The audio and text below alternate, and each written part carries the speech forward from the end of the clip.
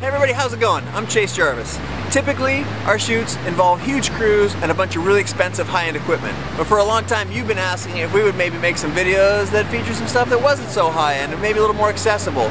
Well, that happens to coincide perfectly with the fact that I'm standing here in sunny Southern California working on a campaign for SanDisk. And they've asked me to create images with a wide range of cameras and cards. I'm going to show you a bunch of tips and tricks for making great pictures with everything from a point and shoot to the top of the line DSLR.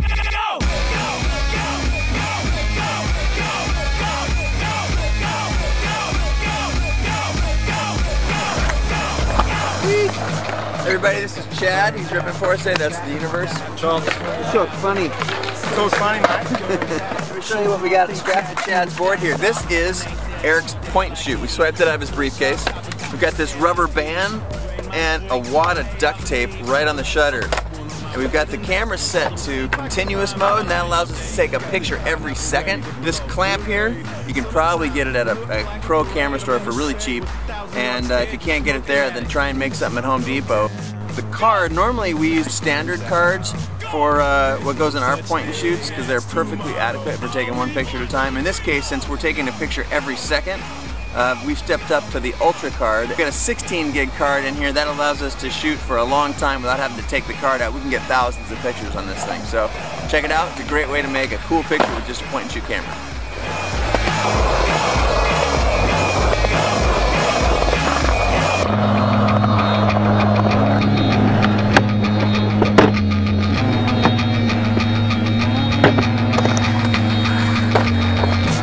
Let me tell you a little bit about what I'm doing right now. All I'm doing is I'm underexposing the background by about two stops to add drama, and then I'm filling in the rider with a flash.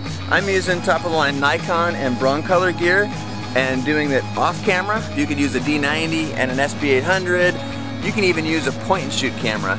All you have to make sure to do is keep that on-camera flash on. Once you get the lighting set up, it's basically just about repetition. I'm using a uh, 32 gig Extreme Pro card so I can shoot all day. Hey Chad, do one more.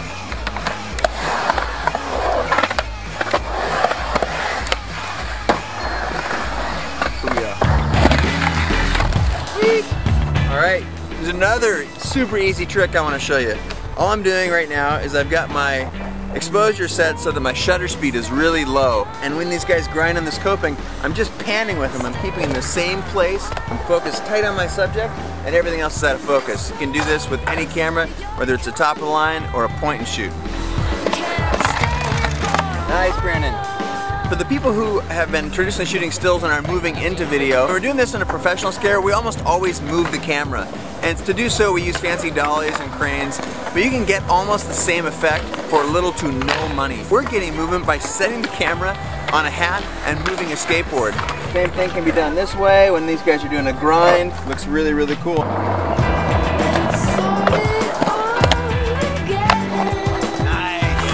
Also doing little follow cam moves where I'm skating around behind people.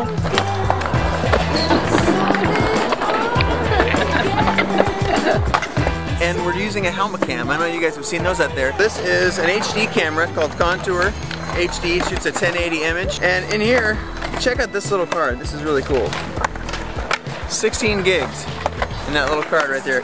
That allows Brendan to skate for, uh, I think, like two hours of HD footage, maybe even three. Pretty simple setup. We just use the adhesive mount and throw it right on the top of the helmet. Makes some incredible images for, uh, for not that much money.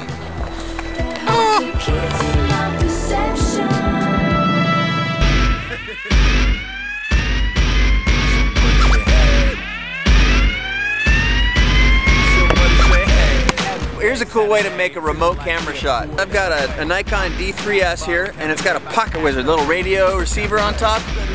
That's connected with this little trigger here to the 10 pin thing on this camera. 10 pin thing.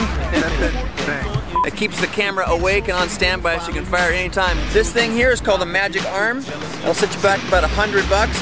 That's gonna allow me to mount the camera up there and remotely fire this thing all day.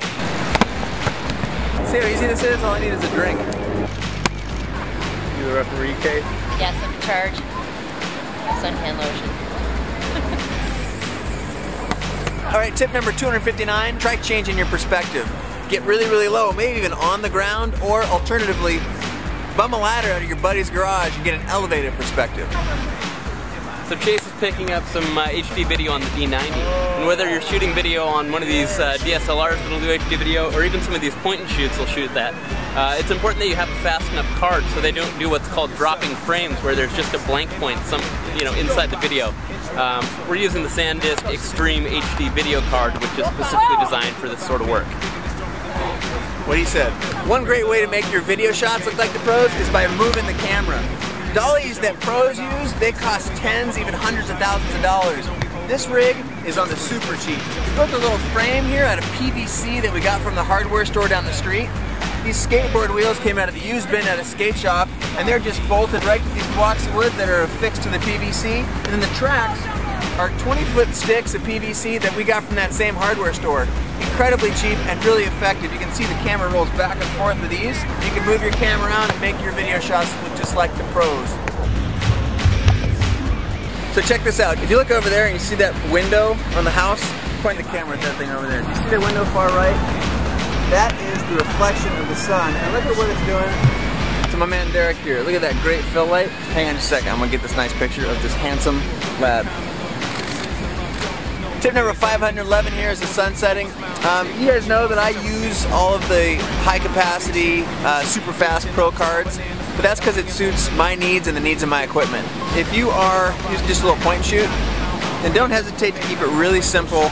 There's a great value to be had in the standard card. Don't think otherwise.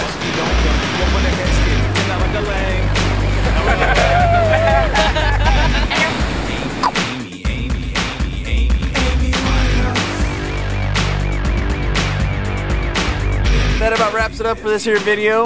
Uh, I hope you picked up a handful of tidbits along the way that'll make your photography a lot better. If you didn't, I owe you one. Until then, signing off from sunny Southern California, I bid you adieu. Look at that, isn't that pretty back there?